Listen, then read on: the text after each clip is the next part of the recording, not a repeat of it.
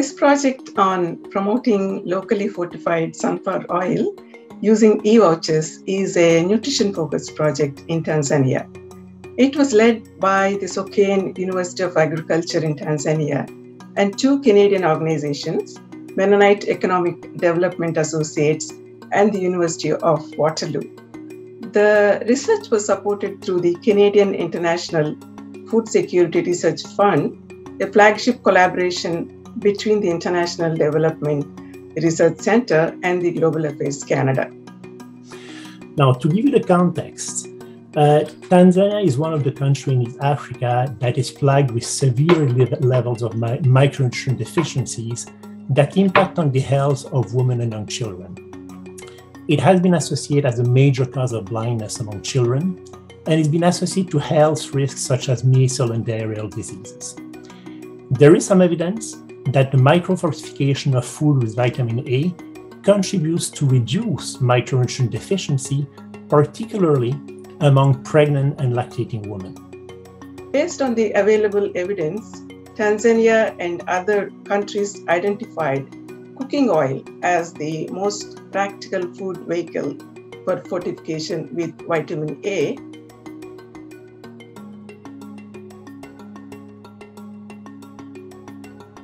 This project uh, set out to address the gap in fortification of unrefined sunflower oil and aimed to provide access to locally fortified oil in two regions of Tanzania, Shinyanga and Manyara, where deficiency of vitamin A was particularly high.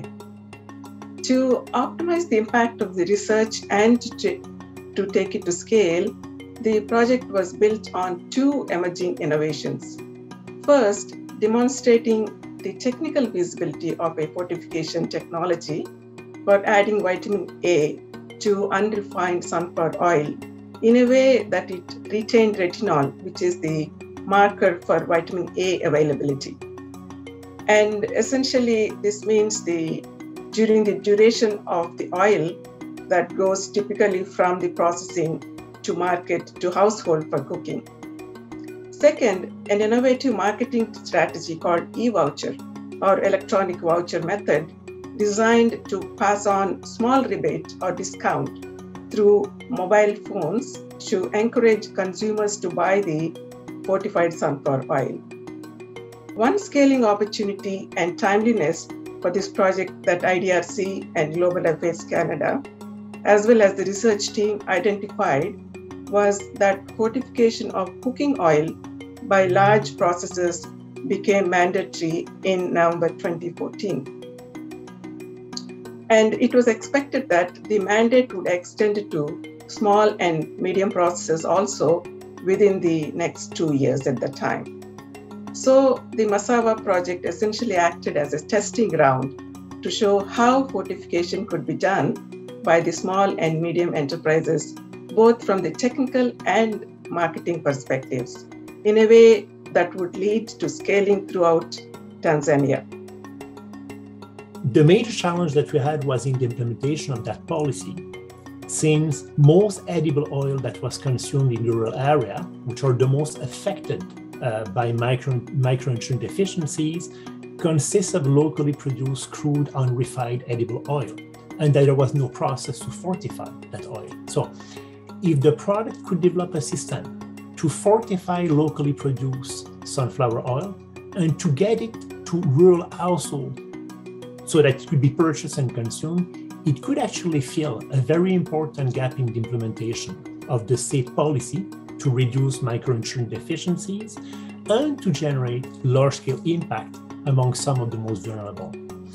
Furthermore, the successful development and implementation of the project could potentially be scaled up to other regions of the country or even to other products if successful, therefore presenting a great potential for impact at scale in the region and beyond the region.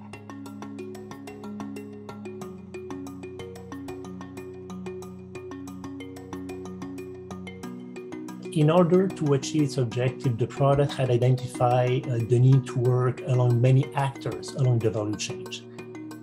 As initiators of the project, the research team understood the scaling opportunity in terms of the impact through vitamin A fortification, considering the high levels of deficiency in the population. The team also understood the need and timeliness to fill the evidence gap to demonstrate how unrefined sunflower oil can be technically fortified in the right way. Coming to enablers for scaling, we can say that there are three broad categories. At the first level are the different actors in the sunflower oil processing value chain, who are the small and medium scale processors, distributors, and retailers who produce and sell the cooking oil. These key enablers along the value chain were supported by the project through providing information as well as technical capacity to help them play their part during the production, distribution, and sale of the product. The second level of enablers, key to the successful scaling, are the policymakers responsible for the fortification mandates and also the regulatory authorities who verify the evidence and give the necessary certification and permissions for taking fortified products to the market. The project supported these enablers by providing them with timely policy relevant information and encouraging their participation in periodic stakeholder meetings to bring them on board. Third, the research team worked closely with the consumers of the fortified oil. Of course, these are the rural households and families who are ultimately impacted as a result of the research and scaling process. This is where the discount or rebate during marketing was designed as an incentive to enable the households, especially women who usually buy cooking items for the family, so that they would be able to afford the fortified oil. This incentive was combined with strong nutrition education using locally appropriate behavior change communication methods. Some of the constraint or competitive factors that were identified uh, very early on uh, were the need to change pre established consumption patterns where households purchase very small amount of the cheapest oil, often cottonseed, and the need for the newly locally produced oil to be more affordable or appealing than commercially available palm oil.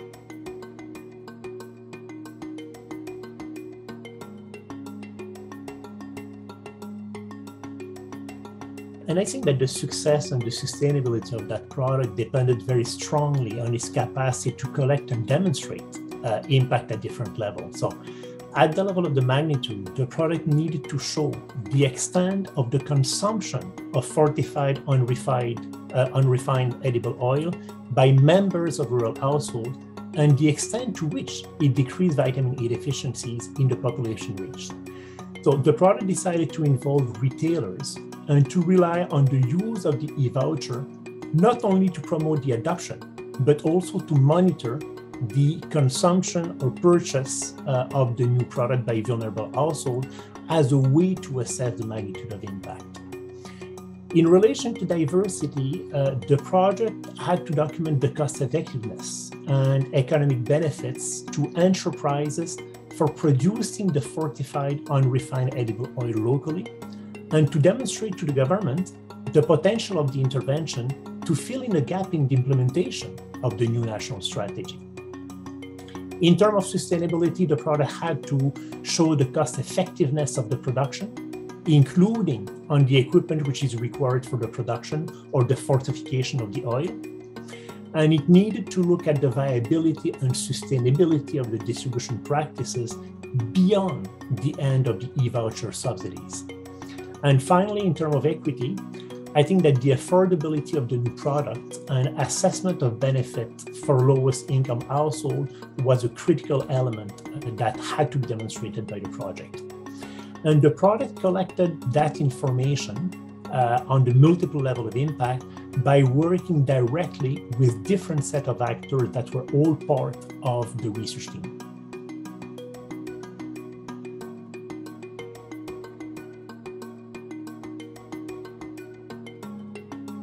To address the needs of different stakeholders, the project implemented several strategies.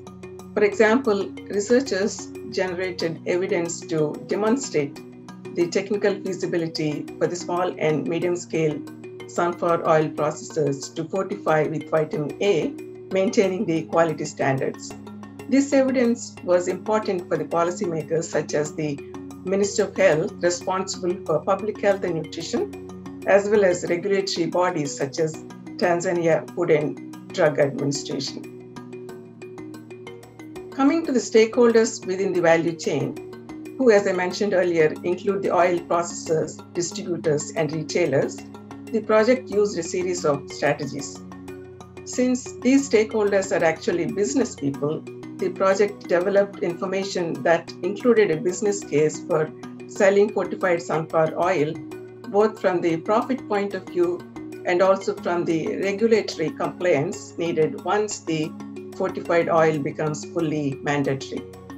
Second, the project team identified the capacity building needs for these stakeholders and so designed appropriate training with clear documentation such as standard operating procedures and quality control methods.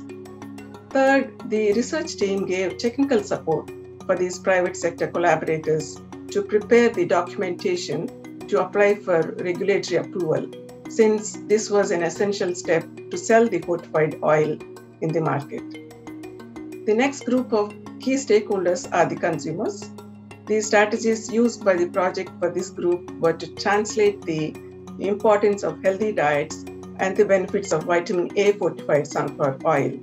This was communicated in simple everyday language through different channels including colorful posters, dramas, cooking competitions, TV and radio messages, to name a few. It was also important to note that the research team connected with all levels of influencers, influencers involved in the purchasing decisions. For example, although women are more likely to buy the cooking oil, it was important that men also received messages so that they support the informed choices being made by the women in their households.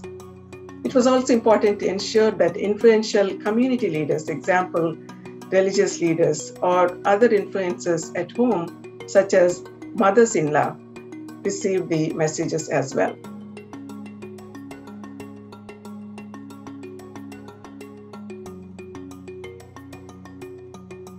After attending the gender training provided by IDRC, the researchers first studied the constraints for women to participate in the sunflower oil value chain, including processing and purchasing. Based on the learning, they made changes to the implementation of e-voucher system, considering the women's time constraints and lower levels of access to mobile phones for using the voucher benefits through the phone system. With the modified process, they were able to pass on the rebate through the retailers or the shop owner's mobile phone rather than the customer phone. Product started with the assumption that SMEs uh, distributed or market their oil directly to retailers, and we realized that most SMEs did not market to the retailers but to distributors who were specialized in selling to a particular area. So it was very important for the project to engage and involve those distributors early into the project as new partners or actors to the project to ensure that their key constraint or specificity would be taken into account. In addition, a critical piece of information from the surveys was that a high percentage of families purchased cooking oil in small quantities or scoops, they call, which are sold in plastic bags sufficient for one day or even just one meal. Sometimes the consumers bring their own plastic bottles to the shop to carry the small quantities of oil they buy. In response to this market reality, the research team studied the vitamin A retention along the timeline from production to sale to household consumption, actually mimicking the local buying practices. The conclusion from this study showed that unrefined fortified sunflower oil did indeed retain sufficient vitamin A in prevailing retail conditions. This evidence led the project to confidently shift from selling only one liter opaque containers in the beginning to also get permission to sell in larger containers, which in turn makes it possible for the retailers or shop owners to sell in smaller quantities or scoops, the way in which most of the low income households buy the oil. Interestingly, market records confirmed that sales accelerated once this choice of packaging was made available.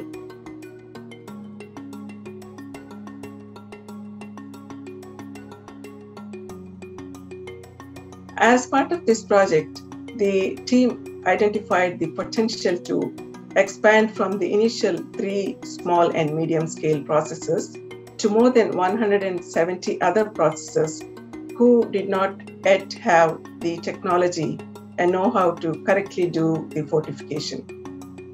In fact, many of these processors were willing to fortify the sunflower oil they process with vitamin A if they were given technical support and if it was affordable. On top of this, a need for the regulatory authorities to play a role was identified by the research team.